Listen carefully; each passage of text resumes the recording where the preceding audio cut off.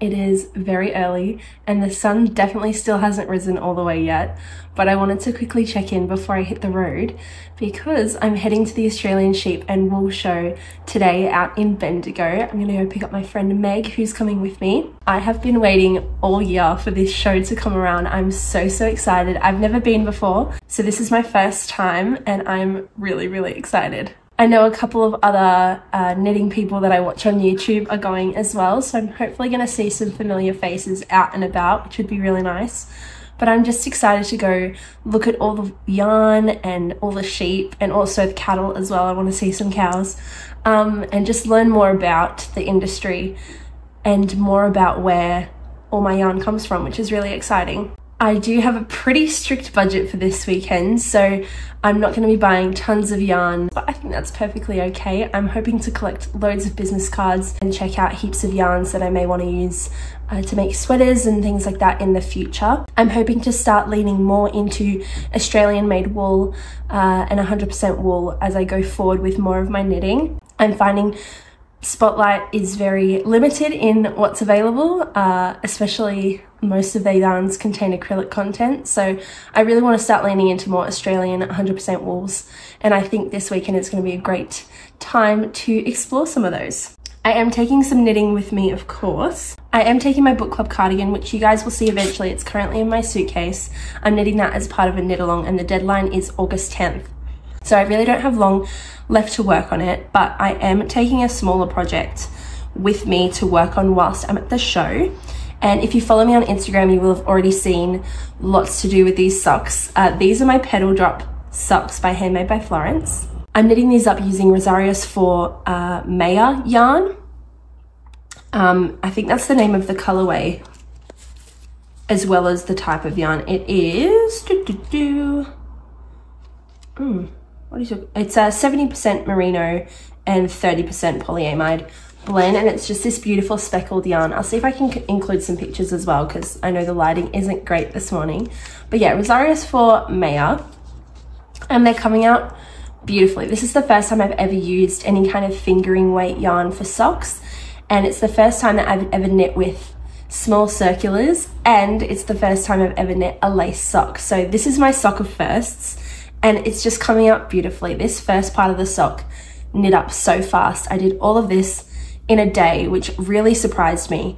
I really thought this was going to go a lot slower, especially getting used to the short circulars. Like my fingers and my hands were so confused. I had to retrain my brain, but I think I've got the hang of it. Uh, and I'm currently now doing the uh, gusset decreases. So I'm hoping to finish the gusset decreases this weekend uh, whilst I'm in Bendigo. So yeah, that's my little travel project. But I'm also taking my book club cardigan to work on uh, when we're in the motel. We're just staying uh, about half an hour outside of Bendigo. Plan for today, I'm gonna go pick up Meg and then we're going to road trip out to Bendigo and we're gonna actually stop at a few places along the way. If you are new here, hi, my name's Hayley. Uh, I do monthly podcasts on this channel talking about all my knitting and crochet and sewing and other crafting things. So if those podcasts or even these vlogs interest you at all, feel free to subscribe and leave a comment as well. Let me know if you went to the show and let me know what you're working on whilst watching this video as well. I will catch up with you later this afternoon in Bendigo.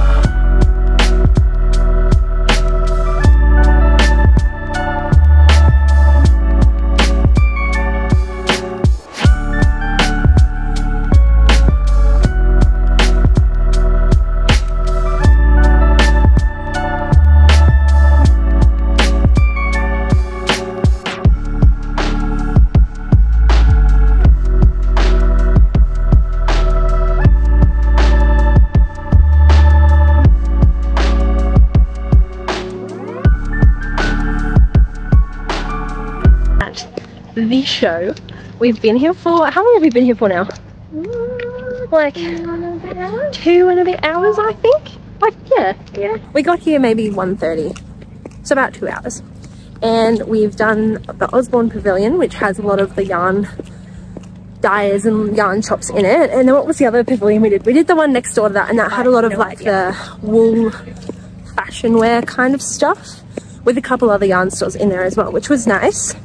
Um, we also went into like the uh, technology and innovation center where they were doing all the um, sheep and ram like judging and their sales as well, which was really cool. Um, I'm not sure what we're going to do now. We've had coffee. We had lunch in Castlemaine, which we, you would have seen. I think we're just going to kind of wander around for a little bit longer and then we might head into town and check out some stuff in Bendigo. We also need to get some groceries before we go to the motel. So that's kind of the plan.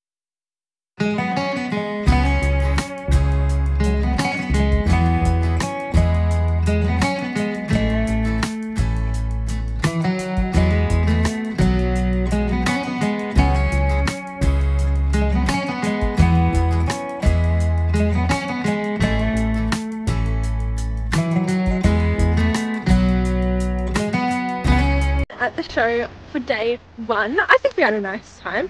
Today was not a buying day. Today was very much a looking day. We wanted to look around and see what was on offer before making and committing to any purchases. But we're gonna head into town now and get some groceries before heading to the motel and getting cozy, doing a little bit of knitting hopefully, having some dinner, and just relaxing is the plan. It's the plan.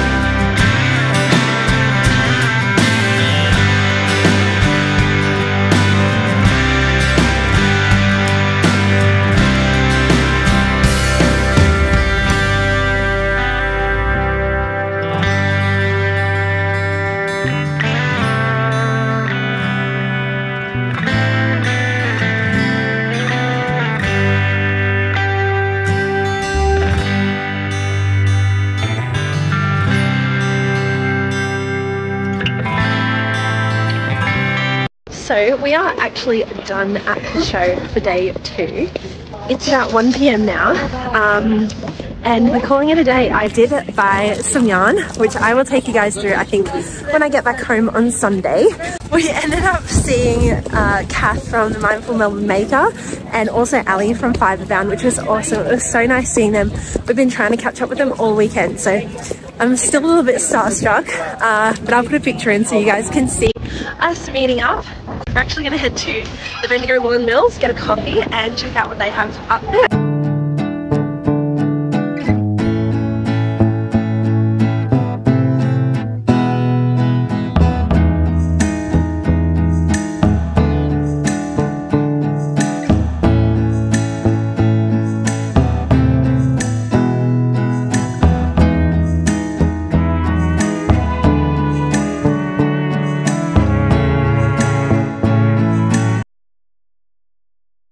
Hello everyone.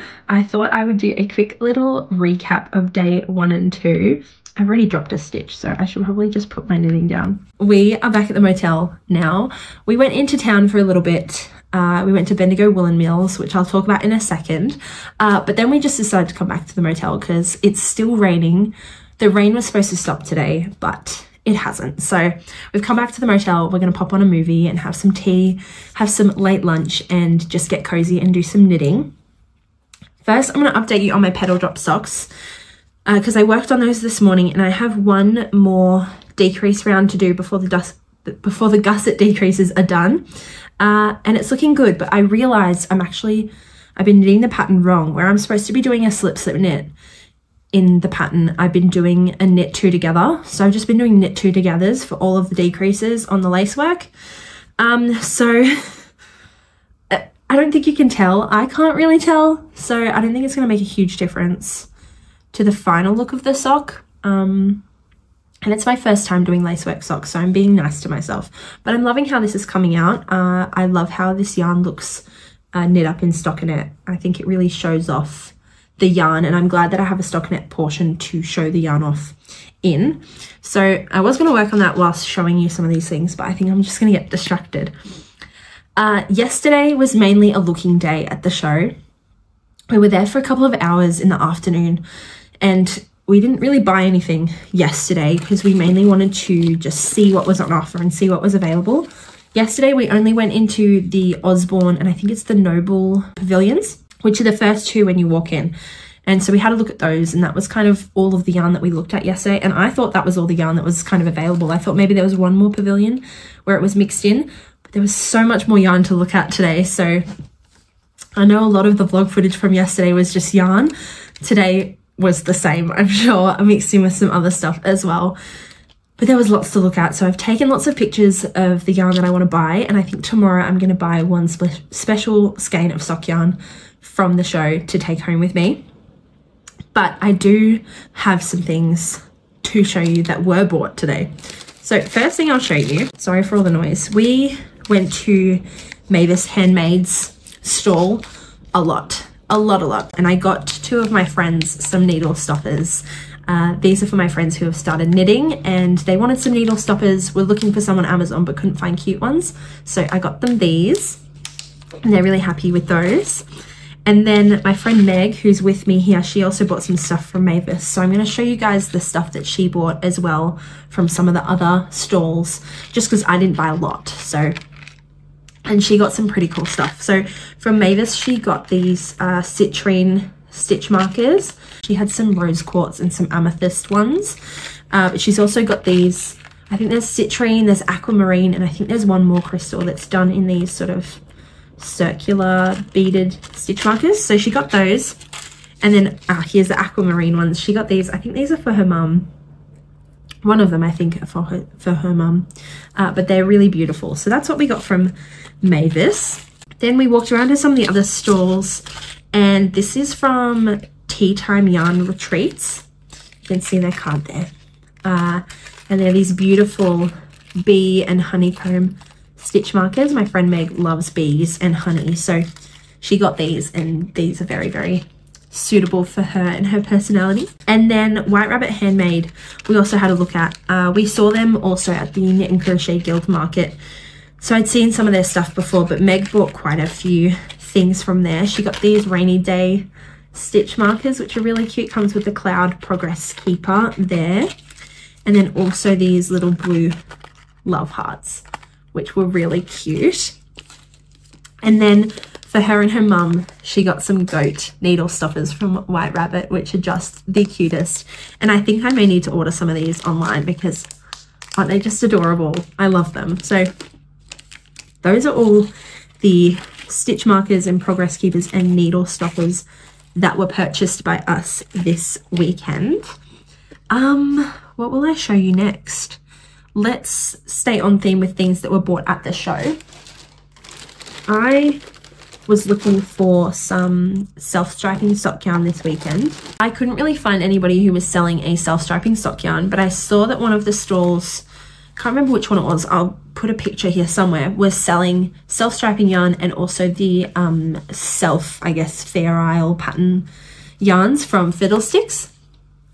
This is the Fair Isle one that Fiddlesticks does called Jester. Uh, and I'll put a picture here because you can't really see on the label of what the sock is supposed to look like. And so I got myself two balls of that to hopefully make some Fair Isle socks with. Uh, this is what I've been looking for this weekend and they're only $10 a ball. So $20 for a pair of socks I think is pretty decent. So I'm really happy with that purchase. And then the last thing I did at the show today was get my yarn store passport. This is organized by Dear Prue. She set up this like self-guided yarn store hopping thing with this yarn passport at the show. And basically you go to all of the stores listed on her Instagram as part of the uh, passport and get all of their stamps and stickers. So I did that today. So Bombed Yarns had a massive stamp for me, which I loved. And I was hoping to get stamps from everywhere, but some of them only do stickers. So Fancy Yarns and Le I think it's Leekham or Leecham will only do stickers. Uh, and then obviously Fluff and Nonsense and Tandy as well. I have one more stamp to get to complete my passport and go in the entry for uh, the competition um, that she's running with this. But there are heaps and heaps of pages in here. So I'm hoping that I can collect stickers and labels from all the different yarn stores that I visit throughout my time as a knitter and collect them in here. There's also some cute little activities and reflection pages in the front, which I think is really sweet. So thank you, Dear Prue, for setting this up. And thank you to um, Great Southern Yarn who mentioned it to me for the first time um, so I could get my passport. So that was everything from the show. After the show, we end up going to Bendigo Woollen Mills and I got a little bit of stuff. I didn't get a lot because Bendigo is really not that far from where I live. It's about an hour and a half-ish. Uh, and I have their shade card and so I'm thinking if I want to knit up a sweater with their yarn I can just look at it online and then go buy it from the mill some other time so I wasn't looking to buy a sweaters quantity today uh, but I saw they had their 5 ply 100% wool on sale uh, for $10 a ball um, this is just their five ply. They come in 200 gram balls. And this is the colorway Driftwood Mix. And it's this beautiful, like muted brown color. Literally looks like the color of driftwood. And I loved it. So I got two of those, so 400 grams. I'm not sure what I'm going to make with it. Uh, they recommend a 3.75 millimeter needle. I could probably get away with a four maybe even a 4.5 to make a, a, looser gauge. I'm going to swatch with this when I get home and see what I can up with it. But yeah, I got two of those. And of course, I got myself a Bendigo Woollen Mills bag because you just have to. Meg also did some shopping. So her mum is a knitter as well and wanted some yarn to make a vest. So Meg got her the, uh, I think this is the classic or something. Yeah, classic 8 ply in the colorway straw. And I think she got three balls of this. Um, and again, these are 200 gram balls, which I really like that they do 200 grams. I think that's just so much nicer and I think a lot more affordable than 100 gram skeins or balls that you see. She got three of those. And then she also got, I think these two are the same, yeah, the four ply sock yarn, which is 75% wool, 25% nylon. She got two of those to make socks. Um, this one's the colorway wheat and this one is moose. Um, so she's going to make socks with these. She's never made fingering weight socks before, so she's going to give it a go with these two yarns. And then the last thing I have to show you is also something that Meg bought. These are by Cleckheaton and these are their brushed brush strokes hand dyed five ply skeins. And she got two of these to make some socks with. Uh, and they're these insanely cool speckled yarns. I think they're just beautiful. I think these are, it's hard to know. I don't know the differences between the plies and the yarn sizes. You know, what's the difference between a four ply and a fingering or a five ply and a sport? Are they the same? I don't know. um, still something I need to learn, but these are 50% nylon, 50% acrylic. So she's going to make up some socks with those as well. Oh, and she also got some needles. She got some Bendigo Woollen Mills, I think 2.5, 2.5 millimeter needles in 80 centimeters. She's going to try knitting socks on Magic Loop for the first time. So those are all the purchases. As I said, I have mainly been looking this weekend. Tomorrow I'm going to get myself a special skein of sock yarn from the show. But tonight we're just going to relax. We're going to look through our purchases. Um, I'm going to look through all of the photos and videos I've taken and see what I can share on Instagram for today. And then we're just going to get cozy. We're going to relax and do some knitting. That's kind of the plan. I will probably catch up with you maybe a little bit later. Otherwise, tomorrow morning.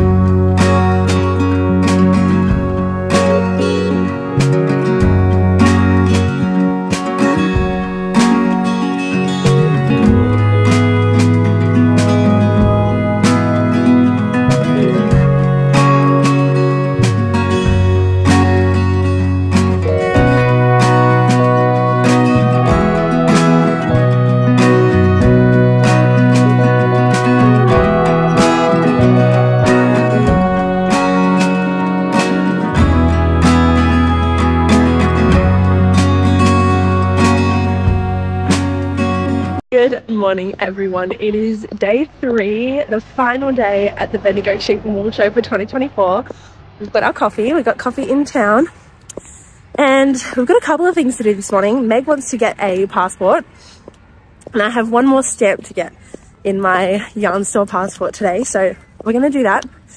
We want to have a look at some of the rands. They're all getting sold today. So we're going to check all of that out and just see kind of, kind of some of the last few things that we want to see before heading off. It's a bit bittersweet, you know, we've had such a good time and we kind of don't want it to end. And then after we're done at the show, we're going to be heading off uh, down to Woodend to Alice in Fabricland. And that's going to be our last trip, our last stop, I guess, for the whole trip. And then we'll be making our way home. Um, I don't think I'm going to talk much today. I think I'm going to show you some of the last few bits of what we do. And then I think I'll regroup again once I'm home later this afternoon. But thank you for joining us this weekend. It's been so, so nice. I hope you've liked it. Again, if you're at the show, please comment down below and let me know. Let me know if you saw yourself in any of these videos. And um, I'll catch up with you later this afternoon.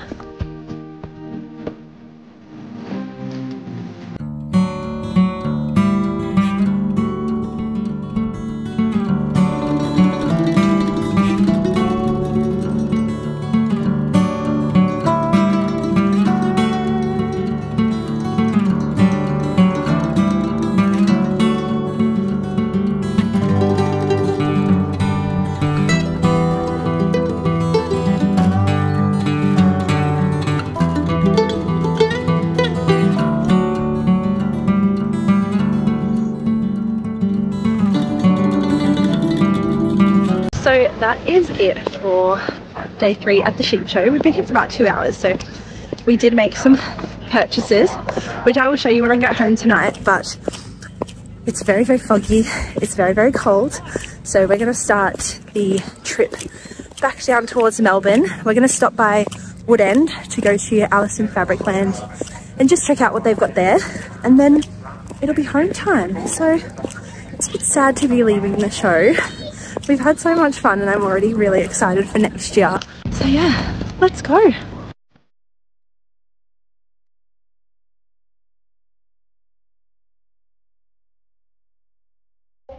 So we've driven out to Woodend and turns out uh, there's actually no brick and mortar shop for Alice in Fabricland anymore. I think she's currently trying to find a storefront.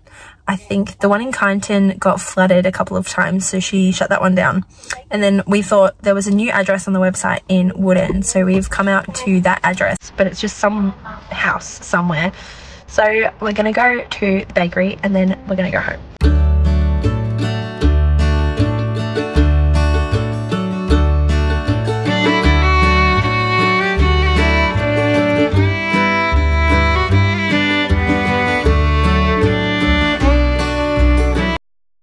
Everyone, I am finally home after the sheep and wool show for 2024. I got back maybe about an hour ago and I've just unpacked my suitcase and all my things and I'm finally sitting down to sign off this vlog for you.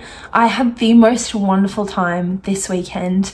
It was my first ever show and I feel so grateful that I was able to attend and grateful that I get to share my hobbies with all the other knitters and crocheters and crafty people in this community. It's one thing seeing everybody enjoying these hobbies on social media, but to see it celebrated in person at such a big event like this and being able to speak to people in person about all the things that we love about this craft is just such an honor and a privilege and it's so, so exciting. So I'm really happy that I went this year and I really can't wait for next year's show. This morning was a lot quieter than the last two days. It was really foggy and really cold and we actually got to the show first thing this morning so there weren't many people at all.